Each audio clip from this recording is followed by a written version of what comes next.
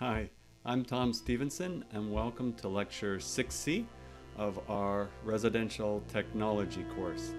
In today's lecture, we're going to do a follow up to Lecture 5C, where we looked at drawings and we looked at constructability from reading drawings and trying to visualize things better so that you know how to construct things.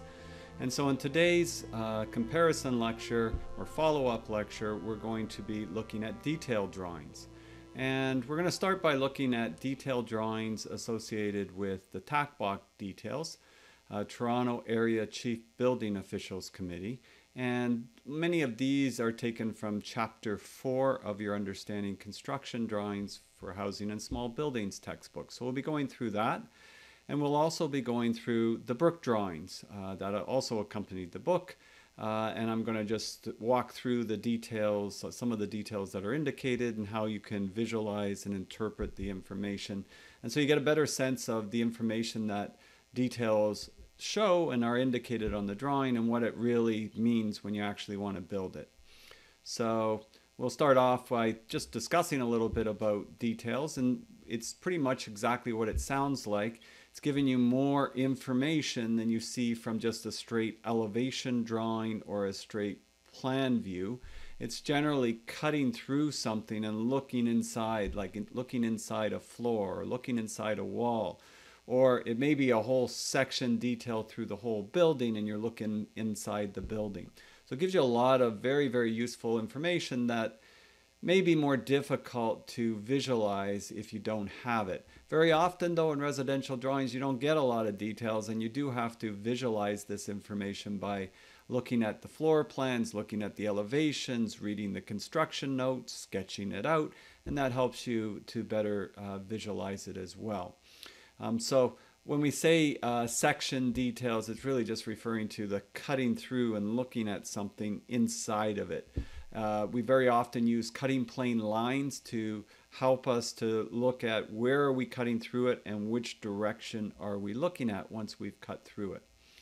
These uh, next few uh, slides are from uh, TACBOC, which is Toronto Area Chief Building Officials Committee, and they kind of got together and put together a listing of details that are pretty standard details uh, and it's interpreted from the Ontario Building Code. Uh, I think the most recent ones they have is actually from the 2012 Building Code. Uh, there's been updates to it since, but it's a really good, even though that's a, a, few years back, it's a really good indicator of what you're looking at and what you're trying to understand uh, from the information. So this is a, a section detail through a whole house from top to bottom, and this is your footings. Uh, over here is your floor slab. Uh, here is your blocks and your block coursing with the joints in it. There's a break line through here, which is separating the upper from the lower. It's just meaning that this would continue on. So whatever your height is doesn't really matter other than uh, this would continue from top to bottom. So of course our footings are where the foundation is resting and it's on should be on undisturbed soil.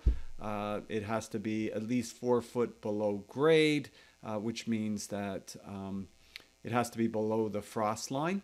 And for our climates in uh, Canada, and uh, that's for a heated basement. So we've got also indicated a bunch of hatchings on this drawing. So you can sort of see this is hatching for in batt insulation, and this is for rigid insulation. This is rigid insulation on the outside of the wall. This is a siding on the outside of the rigid insulation. You can see where the sill plate is placed and the location of the sill plate. So this is giving you some highlights of where that would be placed and that dashed line is the anchor bolt that would fasten the sill plate to it. Uh, we've got batt insulation in between the joists. They even put rigid insulation against the wall of the rim joist, and they call that the rim joist, the outer joist. Uh, circling the building, if you will. Sometimes they'll call it a perimeter joist. Uh, so then we have our wall, and that's why you have a bottom plate, typical top, double top plate, so that's the X pattern through it. You've got your insulation in the attic. This is really showing the hatching like it's a batt insulation, but it's actually would be a blown in insulation of some sort. Uh, you also see here you have a vented soffit, just like you've seen on the Brook drawings before, and you see it on the Doncaster and Whittington that's in the textbook. And so that allows air to flow up into the attic space. And when we talked about roof construction before, as you recall, um, there should be one to 300. So minimum one square foot of ventilation to every 300 square feet of, uh, of ceiling space. And so that insulation should, that vent should be 50% at the soffit and 50% up the roof. It could be a ridge, ridge vent, it could be a roof vent, so that air will circulate and flow. And if any moisture gets into the attic, it will carry that away and dry it out so it doesn't become moldy. So there's a lot of uh, structural information here that you can sort of see. In this case, they, they're indicating uh, blocks. Um, if if it was a uh, block wall, the top course would be filled solid, uh, and uh, that would be just to make sure that it's solid. You'd have it knocked out where the anchor bolts are, and then that would be filled solid. Uh, usually they'll put some you know waste pieces in the holes, and then they'll fill this up with uh, mortar. Uh, if it's reinforced concrete, uh, that as it could be, it's not really indicating one way or the other with this detail because they're just trying to show you the different ways that you can construct it. On your actual construction drawings, it'll say it's poured concrete or it's concrete block. It won't beat around the bush about it. Uh, so we have here our space above grade. We've got our hatching for what grade looks like. We've got the grade sloping away from the building minimum 200 millimeters. Uh, when it's uh, like a siding material from grade, that would be straight from the building code uh, there. There would be a header wrap. It's talking about a header wrap here. And that's that little dash line that goes around here, comes up here, and comes there. And then it says seal header wrap to vapor barrier. Well, in this case, it's actually an air vapor barrier.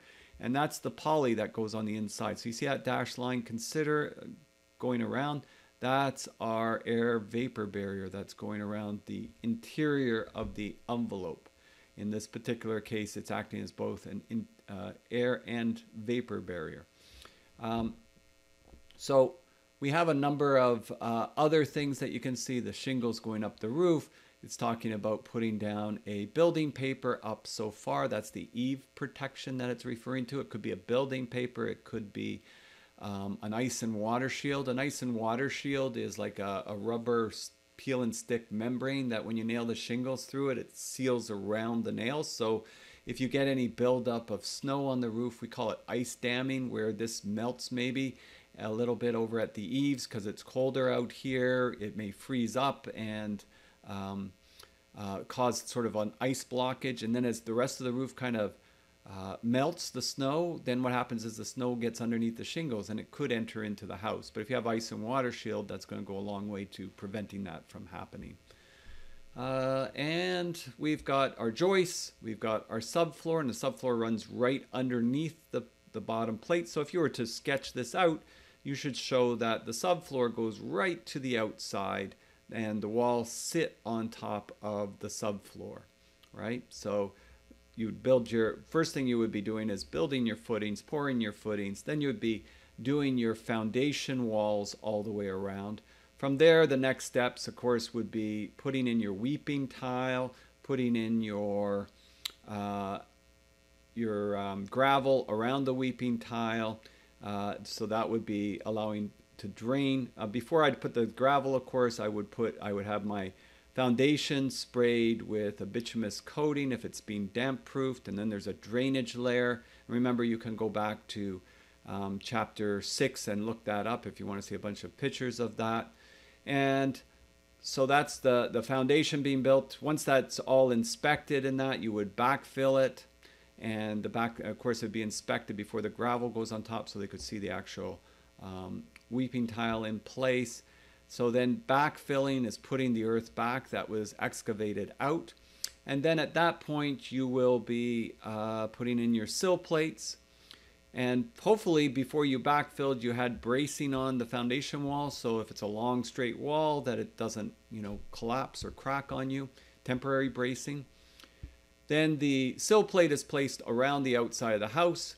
and then we frame the floor joists on top at the various spacings that we've discussed before 12 16 depending on what the what is going on it. If it's 12 inches there might be a longer span for that size of joist or it might be that you've got ceramic tile on top of it. Uh, if it's 16 inches it's just what it was listed on the drawings. And so then you'd frame your walls on this floor and then you'd raise them up and once you raise up the walls and brace them and straighten them uh, and all the walls are up, then the next thing is you're going to put up your roof trusses or your frame roof, depending on what it is that you're utilizing uh, on the particular structure. So all of that is looking at this particular detail. And this is looking at it up close so you can see it a little bit more clearly. This is the part that's above uh, the first floor, and then you've got what's below anchored to the actual foundation wall.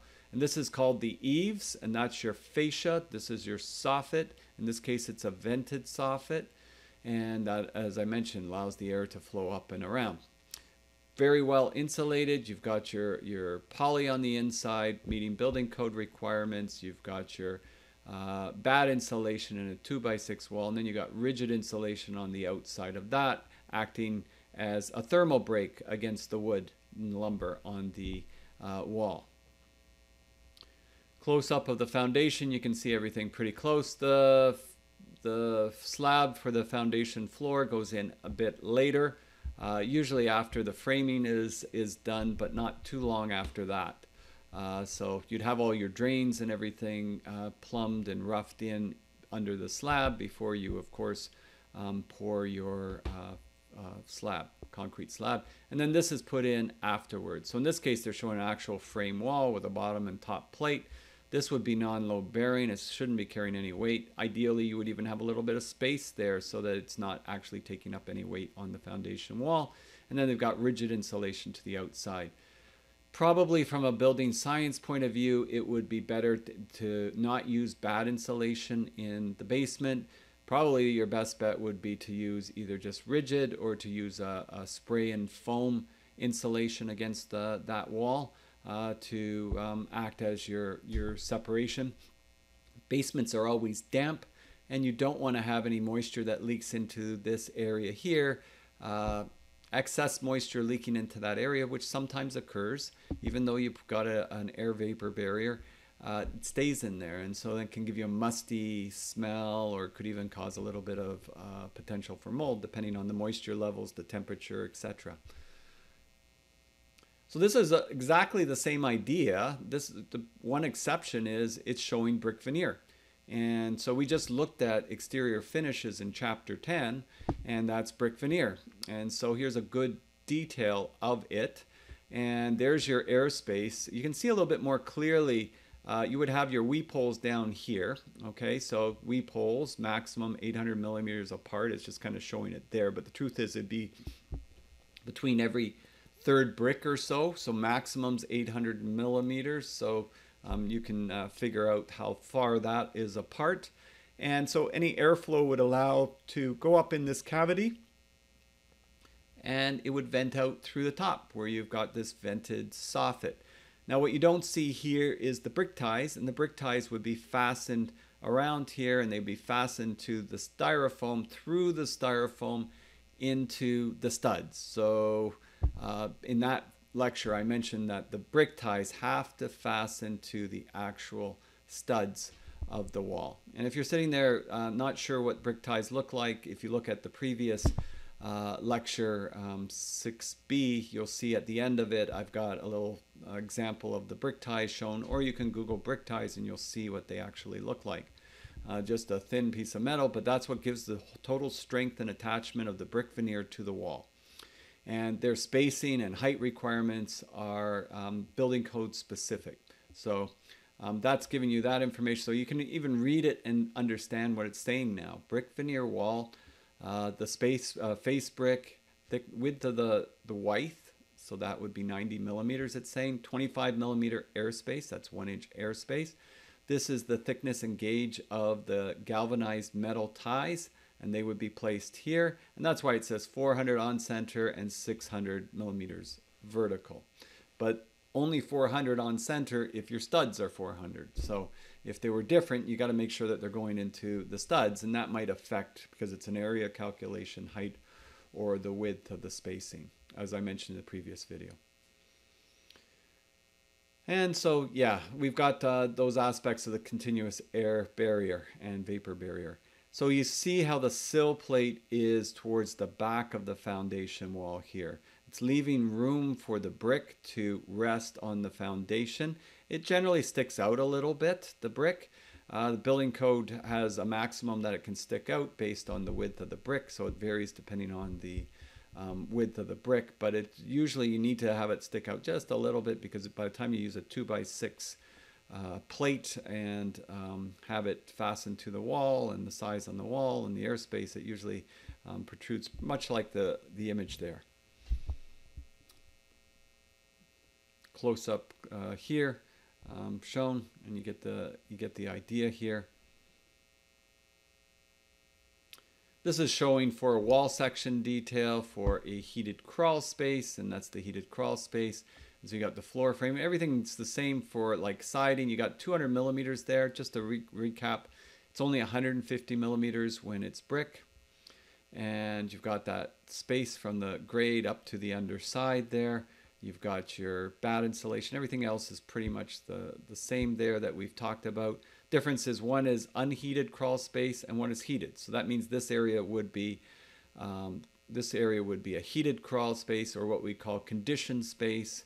And this would be unheated or unconditioned space, while this is conditioned space. Uh, this tends to be not as good because um, you feel the cold. It's like being over the garage. It's always it's always tricky to fully insulate the floor over a garage in a house um, where the second floor goes over the garage. Here we've got our uh, cut through. This is for the Doncaster house, so it's cut right through. You're looking inside of it. You can see the footings here. You can see how this uh, is a sunken laundry area, so it drops down 380 millimeters. If you recall from video 5C, it dropped eight inches. All right, so this is actually dropping two risers in this example. So that's a little bit more sunken than the previous uh, brook drawings example that we looked at in the previous um, lectures. So you get a good idea of the cut through. You can see the slope. You can see the cantilever of the um, box window that we talked about in a previous lecture when we did the wall, wall floor framing. So it gives you a pretty good section cut through. Here's a good example of a porch drawing uh, for a foundation, and I think we uh, looked at this a bit when we looked at the foundation uh, chapter. Uh, so you can sort of see looking straight down. Uh, this is an unheated area, so a cold room. Uh, it's got a doorway cut through it. It's showing you the um, cutting plane lines and the direction you would be looking at each one. And you can sort of see uh, over here, this is actually showing you the roof line for the roof that would be going over top of it, showing it like dashed line. This is your rebar and your spacing for the, the rebar is listed. So it's temperature steel, 10M at 200 millimeters on center and bottom reinforcing 10M at um, 200 on center. So the temperature steel is going the long direction and it's just to counteract expansion and contraction, whereas the uh, bearing steel is going front to back, the bottom reinforcing, and that's why it's on the bottom. So the one that goes crossword crossways would also be on the bottom, but it'd be right on top of the other rebar. So it would probably be seen there. So there you go. So you can see the bottom rebar is underneath and then the top one goes over top of it. But it is it would be placed closer to the bottom of the slab than the top of the slab. And so that's following down in the particular stairs. But from a constructability point of view, just looking at these cutting plane lines and thinking about where they cut through and what that means to me building it? What am I looking at? Where am I standing? What do I see in this particular point? So section A, you got to be really cognizant of section A and section B and where is that and what is it I'm looking at, right? So it's over here, it's over there, that's what I'm looking at. Um, so when I, and I'm looking in that direction of B. So I'm looking wherever the arrow points. And that gives me a good understanding of what I'm looking at. And so this is uh, the brick veneer with a block backup. Uh, this is a cut through right through the whole, whole porch. Now, if it was really done, you, you could see you'd have another A that would show you that it's all the way through. So it doesn't, you, some things you have to infer when you actually look at it. And that's fairly common with drawings. You just got to get used to that. You might be, oh, it would have been nice if they had it coming out here and showing there, like it does when it cuts through the whole house. Uh, but on something small like this, they might do it just like that.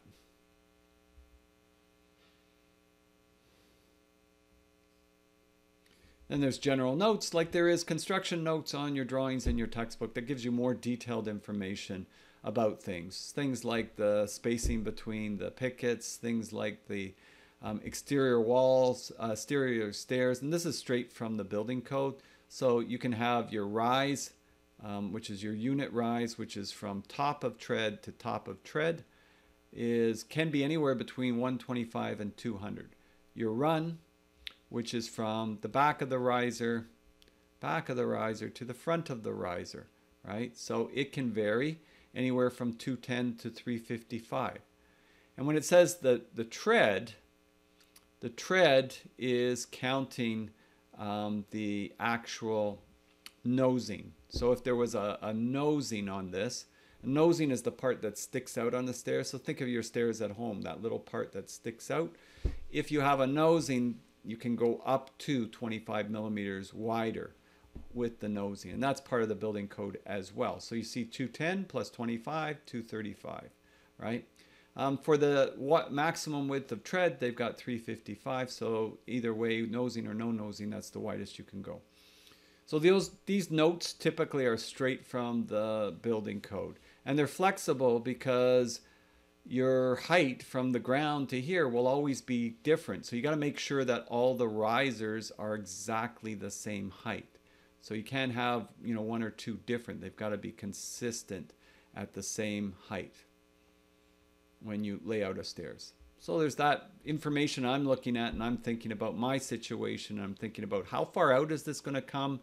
How many how many risers do I want to have? Because I may be able to adjust things with, to have one more step or one less step and still fit the criteria uh, just by squeezing, you know, making a tighter uh, unit run or making a higher unit rise. I might have some latitude that I can still fit within the parameters, which will give me more. Maybe if there's if there's another building over here, I want to keep as much space here when I come down the stairs so I can turn around, right?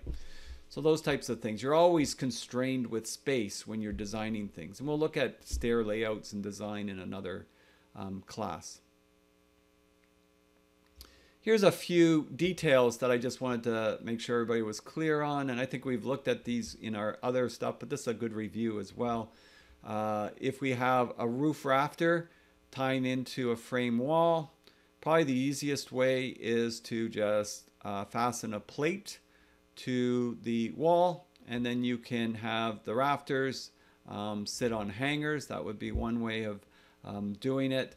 Another thing that you could do is as well uh, with um, with uh, your this sort of layout. If it was brick veneer, you could actually have a plate. Usually, what they'll do is they'll use a three-quarter inch plate against the wall, have the rafters come against the three-quarter inch plate, and then do the bricks around the plate. So if you look back at uh, chapter 9, I think it is, or 8, actually it's uh, either 8 or 7, you'll see where the brickwork in the front living room kind of went around the rafters uh, as it went up the wall. And that is what would be behind it. So that would be a very similar detail. Um, the only difference is they wouldn't use inch and a half, they'd use a three quarter inch plate because remember there's one inch airspace with the brick, so that gives you enough space that the brick could go right tight there because you could be tight at this point because above here you're going to have a flashing that's going to come up underneath um, your shingles so that any moisture would run out if it was brick like here. Now this is showing you like if it was a renovation you would have to cut holes through and fasten it to the wall. That would be one heck of a job to do but in a renovation it might be what you have to do because you can't fasten the structural roof to the brickwork. So typically in new construction, they wouldn't do that. They put a little plate here and then they would have their rafters in place and then they would brick around the actual rafters.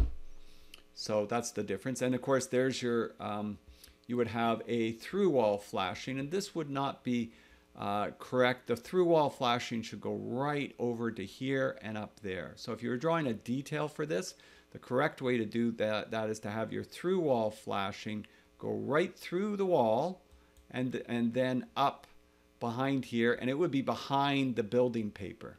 All right, it would be behind the building paper. Um, so that would be what would have to occur there. And I think it's actually listing it there. It's just not showing it very, very well. It says counter flashing minimum six up six inches up wall embedded minimum. Yeah, it's still not. That's still not right. It should be a through wall flashing because otherwise, any moisture could get down and go through down into here, which would not be um, a, a good situation, particularly if you had a window or a garage door opening or anything like that.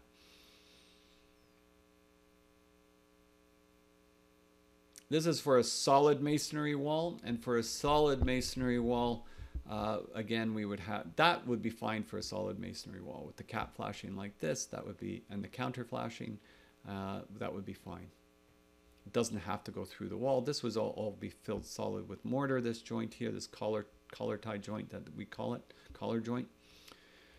And then this could be fastened with lag bolts through the brick, through the wall, because then this is considered a structural wall. Here's a detailed drawing for a deck, and in the deck uh, we've got uh, a uh, cutting plane line B and a cutting line plane line A, and you've got floor joists moving in this direction. So you can see the floor joists moving in this direction, uh, and they're at 24 inches on center. Uh, so for a deck, uh, they're a little bit wider spacing. This would be assuming like you'd have a two inch and a half inch thick um, deck boards, uh, if you're going to use anything less than that, then you better be going at 16 inches. And some uh, composite materials, you even have to go at 12 inches on center. So you have to look at whatever decking material you're using um, for the deck. But you also have to look at the spans. You'll see at the end, I think there's like a sample of spans for joists for deck decks. Uh, and so there's a, these are, these circles here would be what we call sonotubes. And the sonotubes are drilled into the ground and the concrete's filled into the sonotubes. And then there's what we call um, stirrups that are put into the sonotubes. And then our posts can go into the stirrups, the stirrups. Uh, and here you notice these are patio stones that are being laid because you want no wood to soil contact. Uh, wood to soil contact's a no-no with the building code. Uh, you can have termites that will infest the wood and eat their way up through the, the wood. It's going to, even if it's not termites, moisture is going to decay, decay it much uh, prematurely. Um, so um, that would be um, why. Uh, here's the sonotube so you can sort of see how they are. They again have to go minimum four feet below grade to be below the frost line. You've got your floor joist coming out. It's cantilevered over at this point, maximum two feet and this is your stirrups that it, the post is um, fastened to. And we have to make sure if we're going to have a rim joist that's on the edge here for the deck that that would be bolted through to the inside. Uh, in this case, they're showing it's double uh, ledger boards that it would be fastened to this way, but um, if you were going to do it up here, it shouldn't be just fastened to the brick. It needs to be fastened through the rim joist. If it's an existing house and you're doing it, you could do it this way and that would be okay.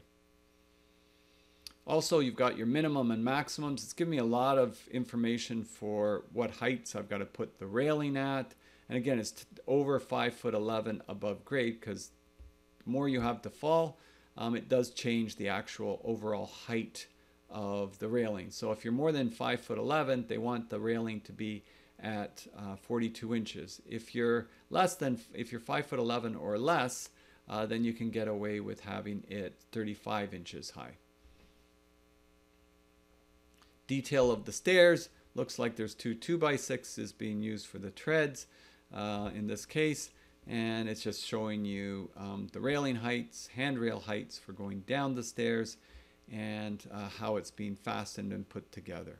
All right, and remember this is your this is your rise and this is your run and this is your nosing. The part that sticks out is your nosing.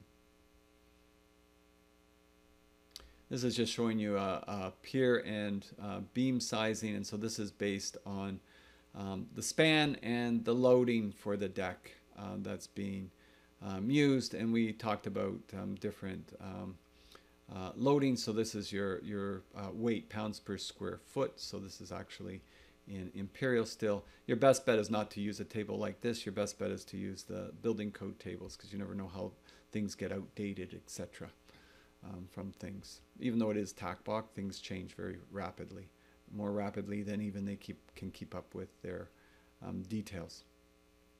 So that's not bad. Let's that's giving us an idea of details, but let's take a look at the uh, Brook drawings and see what we can um, look at what details they've got on on this set of drawings. And so actually maybe we'll start we looked at some of these the last time, and I'll get this turned around a little bit. We looked at the flat roof detail. Now you got an idea of the through wall flashing. And see what I was talking about, through wall flashing, so it goes right through. That's better. That's the way it should be. Um, going up and over with the paper going over top of it. Um, some sometimes drawings you gotta be careful because and even you know TACBOC drawings uh, you gotta be a little bit careful of uh, that it's giving the, the right detail for a particular instance. Um, so we want to have that separation. So if any moisture gets in behind the windowsill or uh, behind the brickwork here, it's coming out above the roof and then it would be taken away by the scooper drain or scupper drain. Uh, this little angled piece here, I don't think I've mentioned that before, is what we call a cant strip and it just keeps the water sloped towards the middle area of the deck, and the deck would have a slope, a 2% slope on it uh, to towards the scupper drain. And if you have trouble understanding or visualizing what does 2% mean, well, you could say on 100 inches, it's going to go from 2 inches to nothing, right? So, or 50 inches, it's going to go from 1 inch to nothing. That's how um, the slope is but it is a slope and it does allow for the water to run off. So it's not a perfectly flat roof. In this case, they're asking for a rubberized roof membrane uh, as opposed to maybe a traditional tar and gravel roof, um, but that's what this is calling for. Uh, we also see lintel to bear on SB in the main wall, so that just means to bear on solid bearing, and that just means that you'd have it on jack studs going inside the wall. Uh, so you get uh, an idea of here. And of course, we have uh, engineered joists that were used on the Brook drawing. So it's showing the engineered joists. Here's a section of the shed roof, which is this section right over here. And these little dots, they infer a hatching for spray foam. So likely this spray foam would be um, a half pound foam that is um, polyurethane foam that would be sprayed into um, this, this area here, right? Uh, and over here we have, uh, over here we've got uh, our interior, it's not an interior wall, it's an exterior wall, but we've got a window here and there's siding and there would be siding on the outside of this wall as well. And if you're not sure about that, you could go and check that. And the reason there's siding here too is it would be difficult. We'd have to put beams and a whole bunch of other things to carry the weight of the brick here. So this makes it a lot simpler. They have the brick veneer on the outside. So if I want to see what that looks like, I'd have to look at the um, elevation there and so you can see the siding. So you got to get used to the ref. When we talk about details, uh, you got to be able to reference and look at where things are. So this edge here, this edge here, and then this here is what we're looking at in that particular um, detail. Well, that cut through of the whole building, section detail AA for the whole building. And so that's exactly what we're seeing. We're seeing through this window and we're seeing um, the outside of the siding. We're seeing the brick veneer, so the siding would fit into that. And if we were looking for section AA, we just have to go look at a floor plan and you'll see the section AA running, running through it at some point. Uh, probably best to look at a whole floor plan. There we go. And so there's your section A, A, and that's running right through that window. And it's looking in that direction. So that's why we see the brick and the siding over um, there. And that section X is, I believe, should be that roof. Oh, maybe not. Maybe there's another section X somewhere. Just have to go down to where we were, where the cut through is. Oh, there it is. Okay. So we will. So there's our, our section um, um, X uh, in that particular part section of uh, roof. I think um, you're really looking at both details when they're looking at that, but they don't show the spray foam over here because it's not necessary. Uh, we have that. Yep, that was where our section AA was going through. So, and this, by the way, I didn't mention this the last time around. Uh, we can talk about this a little bit more uh, when we do the building systems, but this is the floor plan for all the electrical. So they did a separate floor plan, electrical plans. Very often they'll do the electrical on the same plans, but if you get many pot lights or different things going, they'll very often separate it. This is fairly straightforward though. Could have been on the regular floor plans, but they did do separate ones. And um, they do have any showing any possible differences they might have between the elevation A and the elevation B. I'm not sure that I see any major differences between them, but they have them done anyways. Uh, so that's just quickly showing you um, from the basement that the switch is upstairs and that would operate all of these lights off of one switch. Uh, that's also um, looking at from the upstairs uh, so then you can sort of see the lights are switched here. There's a three-way, so you could switch on here, switch off there. Uh, there you can see the kitchens are switched. You can see where the outlets are, and this switch operates that outlet. So all the particulars for the um, lighting um, layouts and the symbols are used. And if you weren't familiar with the symbols, you could always go to the um, you could always go to the construction notes and then they would tell you what these various symbols mean. Like this is a waterproof outlet, uh, so it's outside. So those are where the symbols come in. That's for a hose bib outside. This is for your fridge. This is for your stove, your island. Um, all of these points are covered uh, in the electrical layout drawings. Uh, three-way switch, that's it's hard to see, but that's S3. That's S3, and that means I can switch here, walk open the door, switch there, walk out. This is an outlet and it's going to be at 43 inches above um, ground. So some outlets, they'll give you a measurement for how far above the counter it's supposed to be. Again, you can't see it too clearly there, unfortunately, but that's telling how where the outlets have to go and uh, for what purpose. And this is like a special outlet for a stove, which is going to run 220 volts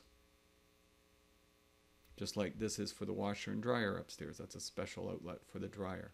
It's the stacked washer and dryer that I mentioned, I think, in the previous previous lecture 5C. So getting to more details, let's just curve this around a little bit. Uh, maybe make... Okay, we're back. And we're going to be looking at uh, some details that you'll see later in the Brook drawings. This is on page 19, I believe, listed as 17 of 19. Um, so uh, we're looking at uh, the plan view of the back deck and uh, some of the differences and details that it shows for the deck. Uh, and some of the details have to, it's kind of dependent on uh, what the grading is like for that particular house on that particular site plan. So we've talked about how the site plan can vary from house to house. If you recall in lecture, uh, the lecture that we did on foundations, which was based on chapter five, uh, we saw the Doncaster house and we went through that sort of view around the site plan, how it tapered and went down um, that ridge there. So it was a semi walkout, did not quite a walkout. In some houses, it's flat, right? And the drawings kind of indicate that it's flat. So this is showing you some options here on this page and the next page uh, regarding the deck at the back. And so depending on where it is, and again, getting used to uh, how details may be shown or indicated takes a little bit of uh, time and getting used to. Like they'll have like a circle around it and it says C. So then I would look at this circle and that would be um, uh, see, right? So it may be pointing to um, a particular detail, and we can sort of uh, get a hint of what it's um, reviewing or what it's actually um, looking at. So, for example, let's see. Um, following this down, we can see here a cutting plane line B, uh, A, and then we got a circle around E. So let's take a look at B. Uh, we've got a cantilever here, so that's where the, the deck is uh, cantilevered out. So it's just looking at that part of the deck that would be um, sticking out. So you got your boards going this way, and so we're looking at it. There would be a beam um, going across this direction. Your joists are running this direction here. Uh, and because they're going to run the short direction typically because that allows you to use um, shorter joists and you can see the joists are indicated running this and you can see it says two 2 by 8s running to the sonotubes and the columns very similar to the details that we looked at earlier from chapter 4 uh, in this lecture for the other deck. Uh, same idea. So it would be on concrete filled sonotubes very typical uh, for decks on stirrups. And then that would be placed uh, on the, the beam would go on top of them and then the joists uh, would go on top of that and be cantilevered outward. So there's your um, beam and there's your joist resting outward from that. So it gives you that that um, look and it says 5-4 decking. That's inch and a quarter decking. It's a little bit thinner than the 2 by material uh, that's used on top. Uh, it shows it like it's a 2 by 4 by scale, but I doubt that. Uh, I think they would use at least a 2 by 6 uh, for that, or one. The 1 by 4 usually comes in 1 by 4 by 6. I've not really seen it so much in 1 and a quarter by uh, 6, not so much uh, uh, that. Oh, it does say 6 inches. It does say 6 inches, but if you look at from a scale view, that's not six inches. That's actually four inches because that's a four by four post and that's about the same width. So you see sometimes there's little inconsistencies. They're not a big deal, but you do have to um, try to interpret things for if you're going to buy it and you're going to build it, just be careful. Uh, number of steps uh, may vary with grade. So whatever you see here, steps, well, that depends on where the ground is, right? And so that depends on the finished floor to the grade requirements and how deep you excavated and followed those measurements like we talked about in chapter 5 in the earlier lecture that we did on foundations. So how deep this is is dependent on the layout of uh, the actual building. So like this detail here, it may be true, but it may not be true. It may be that this is much lower. This might be way down here. It depends if you've got like a kind of a semi walkout basement, probably more like a semi walkout, this illustration, or a walkout basement. In that case, this would be here and the walkout part would be there. So it depends on where the grade is falling, depending on the topography of the site and how the house has been uh, situated for height on the lot. That's why over here it's saying, you know what? You could go with a much, um, you could go with a wider window if uh, the stairs if there's fewer steps because there's more steps then they're going to go further into this particular area right? So it's giving different choices um, um, for the actual uh, different uh, window points. You actually you may be able to go with uh, the wider window depending on how far down this goes. You might have more choices for that. So it's just saying there's some choices there depending on how many risers you've got up to the first uh, floor. And that could even impact you, uh, you know, if it was closer to ground. There, there can be different. If you're closer to ground, you're not going to have so many steps, so you've got more space for uh, the window as well.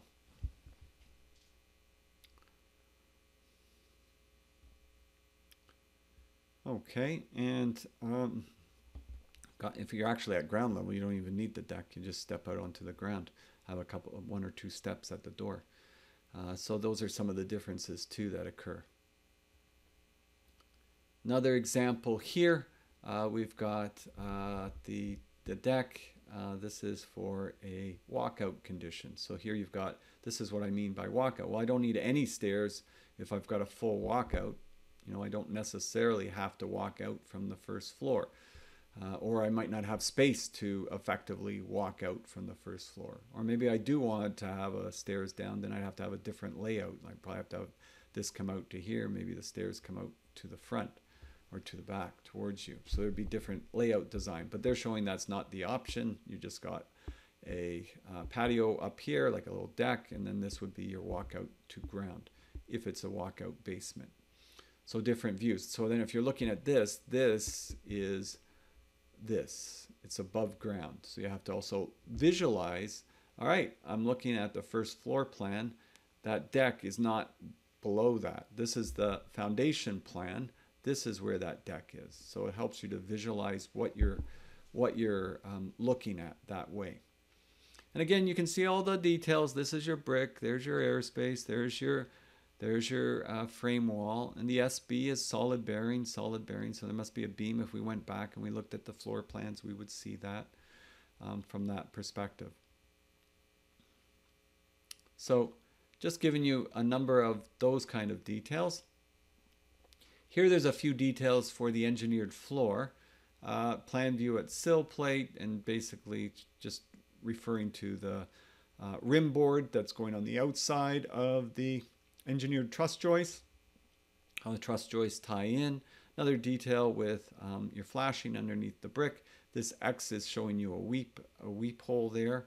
And now that you're familiar with those terms, this is showing the insulation going down below grade to the basement. Uh, and of course, any details like a squash block, uh, those kind of things, they will also be part of the engineered uh, flooring supplier, whoever is manufacturing the floor. And they're going to have shop drawings and they're going to be stamped. So you got to make sure that you're following their stamped shop drawings. If this says one thing and the engineered floor system with the engineer's stamp says another, you got to follow their floor system for that. If there's some discrepancy because you're missing a column or something, yeah, you got to get that all sorted out between the architect and the floor system that you've ordered. But you can't sort of get the, the drawings from the engineered floor system and then ignore them and start following a different set of drawings. So that would supersede what this says about the floor system, right? Um, but very likely it's going to be similar for the little bit that they've showed. Um, it just gives an indication that these details would be for an engineered floor system, and this is typical about how you would see it on the outside. There's your 150 millimeters above ground. See how it says 12 inches maximum there? Well, that's not a building code thing. The 12 inches maximum, that would be uh, usually a builder thing. It could be an architectural control thing. Uh, it's for looks, right? There's nothing wrong with durability of a concrete wall being higher. But if it's too high, it looks ugly, right? So they'll have, uh, usually builders will have a limit and they'll try to have the cut in the foundation wall work out so that it's in that zone. It can't be it can't be less than six inches on a brick wall, but it could be more. And they're saying to keep it to 12 inches maximum. So it's just um, that that side of um, the detailing that's provided there. So hopefully that's giving you a, a, good idea of how construction details work and the information you see on it. You're starting to get an idea like right away you'd be thinking, okay, this looks like it's a steel column um, what is going on with this PL, it's a point load. You're starting to think about what is this information uh, occurring. And probably this is more important coming from wherever it is on the floor plan. So I wouldn't be too worried about that here because this is really giving you the information you need uh, with regards to um, the decks and how the decks are being placed, whether it's a walkout or whether it's a semi walkout um, or just a uh, regular sort of deck on the back of the house. And so you, you also notice too, by the way, visualizing the construction drawings. Look at this. When you look at this, most of you would think this is against the wall, right? So you would think the stairs is against the wall. But when you look at the plan view, stairs is not against the wall. See, look at that. It's got like 30 inches before it starts, right? So there's a bit of a space in there. That allows that window to be a little bit behind the stairs gives a little bit extra flexibility for that uh, window there too, um, depending on how many risers you have. So you got what, one, two, three, it's got to cut it, it's got a cut break line there, three, four, and you'd have the top, which would be five. One, two, three, four, five, six here. I thought there was one extra here because look, this is right to the edge of the window. And here, this is actually, it's actually, um, it's actually before the edge of the window. So um, that's the difference. That's okay because they're not saying it's a particular amount of risers and they've got a break line in between here. So that's okay. I'm just pointing out some of the little inconsistencies that you might see and they might catch you and you get um, a little bit confused with that. But definitely you want to look at the plan views, you want to look at the elevation views, and you don't get depth with orthographic drawings, constructability wise, you don't get depth. So you better be looking at dimensions and uh, the different viewpoints and really trying to come to grips with how things fit together. And also, it's good to utilize the information that's in the construction notes and try to visualize the construction notes. Like if I'm if I'm doing this, I can basically draw this frame wall out. If it's brick veneer, I can draw it out pretty much from the outside to the inside, step by step, because it's telling me um, pretty much uh, from the outside to the inside. If something's not in the right spot, I should be able to ask a question. That doesn't seem right. What's wrong here? Uh, that contravenes building code. That's not right. And they meant to have it here. So you've got to have good enough understanding that if there's these little sort of um, variables that um, you don't get caught with them. And that takes a little bit of time and a little bit of experience to come with it. And do you never get caught with some things? No, I still get caught with things all the time. Uh, usually not typical standard things, but some a little bit something a little bit out of the ordinary things you can. So much better to ask questions. If you're not sure, do a little sketch of something, fire it off to the consultant with an RFI, get a clarification before you actually start to build it. Uh, so from a constructability point of view, that's very important um, to make sure that those things are done. I think I mentioned before that certain items like um, stair sizes, rise, run, minimum rise, minimum run, minimum tread. So this this particular designer very typically always puts straight from the building code all of these measurements here, which is great uh, because it's there, it's easy to access uh, for anybody that's um, doing the work. They got no excuse, uh, not that they have an excuse anyways, so that's important too. And you see here all construction practices to comply with Ontario Building Code re regulations, right? Um, so that's like a broad statement that is saying, here you go, this is uh, the drawings, but you make sure that everything is in compliance with the building code. If there's something that doesn't seem right, ask us the question, right? So that's very typical to be found on drawings, as is not to scale. Okay, so I hope that's given you a little bit more understanding of details and how you can sort of fit details with you know floor plans and cutting plane lines and looking inside and step by step visualizing and if in doubt trying to draw out what it would look like to you and get used to sketching these things so that it becomes much more comfortable uh, a process uh, to do and then you start visualizing it and then you start seeing it and you start seeing it before it's built and so that's that vision and so uh, as Stephen Covey said, start with the end in mind and then you can work backwards, right? And that also ties to a lot of lean construction principles too that we call pull planning. So we look at the end and we work our ways backwards. What do we need next? What do we need next? What do we need next? And then it's kind of like to what do we do now? And that's a step by step process. So have a wonderful day. It's Tom Stephenson signing off for now, and we're going to see you next time in our next lecture. Bye for now.